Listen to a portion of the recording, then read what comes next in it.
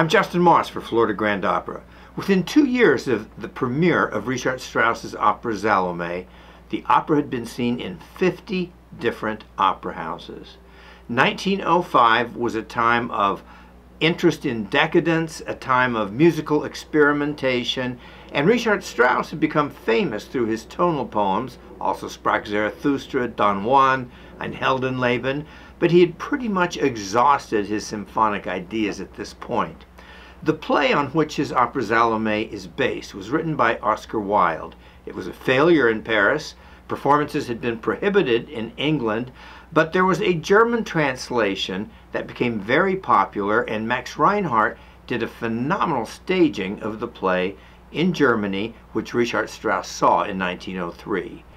He was pretty exhausted symphonically, idea-wise, and thought, this is exactly what I need, a challenge to build a big musical tonal poem based on a text. He set about working very quickly, and the opera was ready in 1905.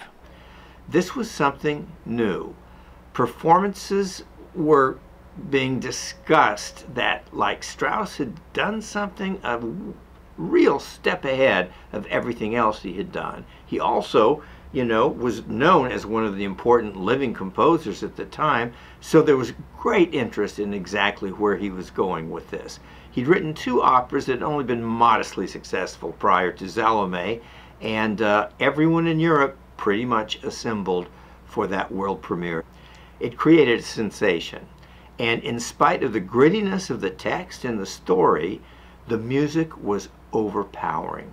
People were incredulous at how he had created this series of leitmotifs, melodies that represented ideas, people, action, and so forth, presented them almost in fragments at the beginning of the work, but spends 100 minutes over the course of just one act with no intermission, welding them together to create one of the most monumental musical resolutions anyone had ever experienced in the opera house. It was an amazing accomplishment and indeed something completely new. People had never seen the likes of it before, and one could argue we've not seen the likes of it up until the present time. This was a wild achievement, and unfortunately, much of the opera going world didn't appreciate the mixture of biblical story, stark eroticism, uh, murder, and possibly necrophilia quite as much as Oscar Wilde did. And the Metropolitan Opera gave its first production of Salome in 1907. It didn't work very well. It was a Sunday matinee. Everyone was fresh from church, if you will, and were basically crawling on their hands and knees up the aisle to get out of the theater at the end of those really excruciating 100 minutes. A movement was launched by major donors of the Metropolitan Opera to bring the curtain down forever on the piece, and thus that was the only one single performance of Salome given at the Metropolitan Opera until 1934, a long stretch of absence. In the meantime, though, it had developed an international reputation as one of the great dramatic and vocal challenges for big dramatic sopranos, and many of them really literally fought for the role. Now, there's a problem in the piece, though, in that Salome has the famous Dance of the Seven Veils. And most of the singers who perform big, dramatic, operatic music haven't spent a lot of time in the dance studio. It's a different discipline, and uh, many of them are not comfortable doing a 10 minute dance. And uh, often we were treated to stand ins a dancer, a corps de ballet member, who came and performed the dance while the soprano more comfortably disappeared from the stage for those few fleeting minutes. It's a great piece, though. Salome comes out of Herod's banquet at the very beginning of the opera. There's no overture, there's no prelude, and uh, the opera sweeps right into her miserable frustration. The captain of the guard is saying to a page, Look at how beautiful the Princess Salome is tonight. And the page realizes that Narraboth is in trouble if he's infatuated with this girl because she's obviously dangerous. The whole family is, wickedly so. We hear from the cistern, a big well, if you will, with a grate over it, the voice of John the Baptist. He's been arrested by Herod, imprisoned in the cistern, and he calls out denunciations of Salome's mother, Herod's wife Herodias, who'd previously been married to Herod's brother. He curses her as being an evil lady of Babylon, etc., uh, much to Herodias's consternation, but it sets the tone musically and dramatically for one of those important fragments that will come together. Salome draws close to John the Baptist and identifies three attributes that she very frankly admires. First, his white body. Second, his black hair. And third, his red mouth. She, procla- she proclaims each of these beautiful beyond belief, horrifying the Baptist, and finally, at the third attribute, he's had enough. And on his own volition, he willfully retreats back into the cistern rather than remain in the presence of this horrifying woman. Salome is, of course, disappointed, but Herod comes out now, having noticed her absence, and he tries to persuade her to dine with him, to drink with him, and then to sit with him. She'll have none of it. And finally, he proposes that she dance for him. She refuses him twice, but on the third time, as he becomes even more desperate in his entreaty, he offers her anything she wants in return, up to half of his kingdom.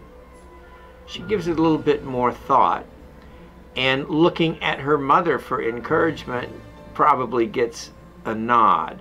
Her mother had been disturbed by Herod's attention to Salome and thought Salome had done well to refuse to dance for him. But now that the reward seems to be potentially so high, she's thought better of it. Salome agrees that she will dance, and the famous dance of the seven veils is performed. At its conclusion, Salome stands before Herod, and he is overcome with desire and lust and his willingness to give her whatever she wants. She has consulted with her mother, though, and demands the head of John the Baptist on a silver platter. Herod is horrified.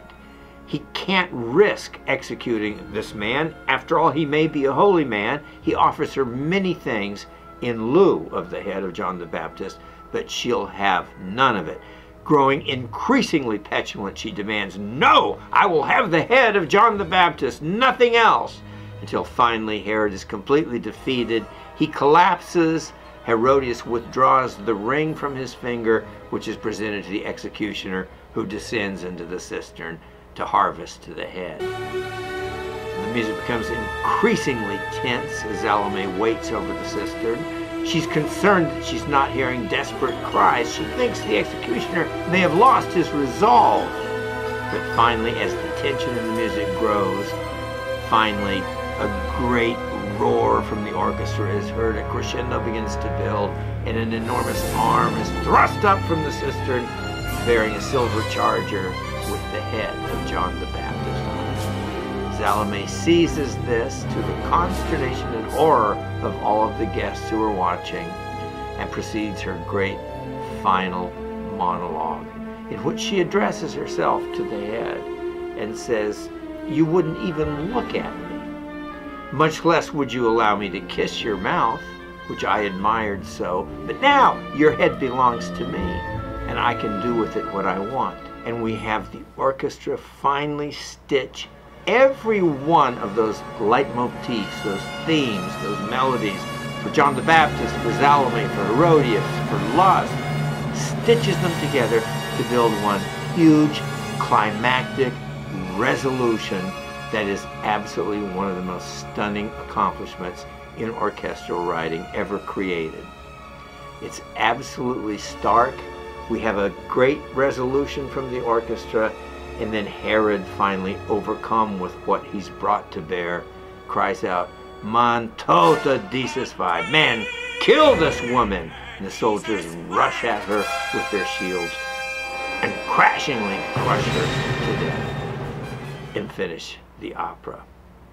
It's easy to understand why people have reacted so violently against the piece, but I think as Strauss composed this, he was absolutely unconcerned with the morality of the story, of Oscar Wilde's play, even. I believe the experience he had in confronting the play was this is a story of profound wickedness and depth that I can tell musically, just as Oscar Wilde had written it in such complete style and texture that much of my work is done for me. The ideas, the leitmotifs are laid out dramatically. I just have to write the music, and this I think I can do. And indeed, he did. The Florida Grand Opera's production of Salome is not to be missed, and if you have never seen this opera, by all means, don't miss this opportunity. Not for the faint of heart, though. If you're unwilling to submit yourself to completely being overwhelmed with the greatness of the drama, the music, the horribleness of the story, you better stay home because it is sure to happen and provide you with an experience you will not soon forget. I'm Justin Moss, and I look forward to seeing you at the opera.